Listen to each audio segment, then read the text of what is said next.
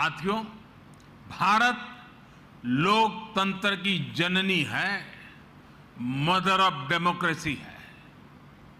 भारत के लोकतंत्र की बड़ी विशेषता ये भी है कि समय के साथ इसमें निरंतर बदलाव आता रहा है।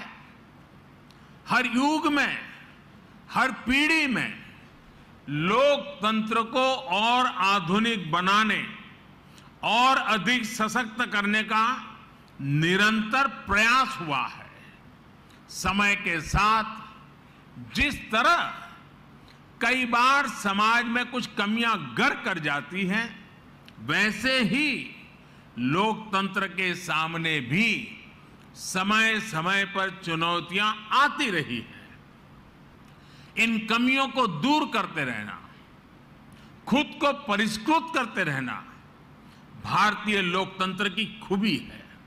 और इसमें हर किसी ने अपना योगदान दिया है। एकाध दो अफवाह छोड़ दें तो हमारे यहाँ लोकतंत्र को लोकतांत्रिक तरीके से मज़बूत करने की गौरवशाली परंपरा रही है। इतिहास इसलिए हमारा भी ये दायित्व है कि अपने प्रयासों से हम लोकतंत्र को और ज़्यादा मज़बूत करते रहे। आज जो भी चुनौतियाँ हमारे लोकतंत्र के सामने हैं, समय के साथ जो भी कमियाँ गर कर गई हैं, उन्हें दूर करते हुए हम आगे बढ़े। ये लोकतंत्र की भी इससे हमसे अपेक्षा है। और देश की भी हम सभी से अपेक्षा है। आज का यह ऐतिहासिक अवसर लोकतंत्र को सशक्त और समृद्ध करने के संकल्प को दोहराने का भी एक बेहतरीन अवसर है।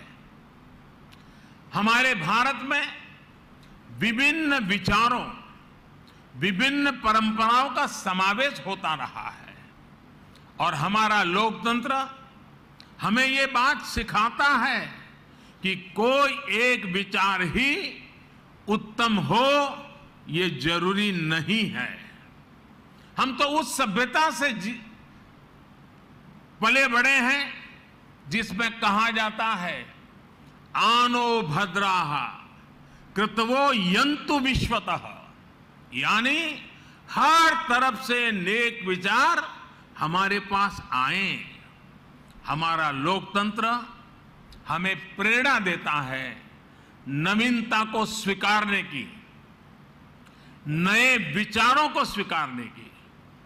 प्रधानमंत्री संग्रहालय में आने वाले लोगों को लोकतंत्र की इस ताकत के भी दर्शन होंगे। विचारों को लेकर सहमति, असहमति हो सकती है।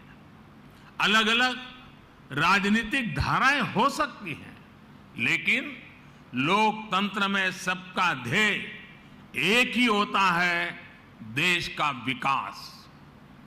इसलिए ये म्यूज़ियम सिर्फ़ प्रधानमंत्रियों की उपलब्धियाँ, उनके योगदान तक सीमित नहीं है। ये हर विषम परिस्थितियों के बावजूद देश में गहरे होते लोकतंत्र हमारी संस्कृति में हज़ारों वर्षों से फले फूले लोकतांत्रिक संस्कारों की मजबूती और संविधान के प्रति सशक्त होती आस्था का भी प्रतीक है।